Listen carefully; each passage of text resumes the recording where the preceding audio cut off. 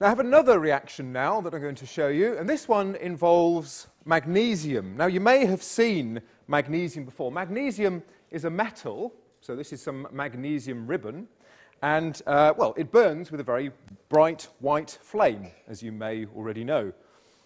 So I'm going to use the Bunsen burner here to light the magnesium, and you can see the intense white flame from this and some white smoke coming out here uh, due to the interaction of the magnesium as it's burning with the oxygen in the air, forming magnesium oxide. Well, we can show this with a, a slide for the reaction. So we have magnesium reacting with the oxygen from the air, forming this, the smoke that we see here, magnesium oxide. Okay, well, that didn't involve any water whatsoever.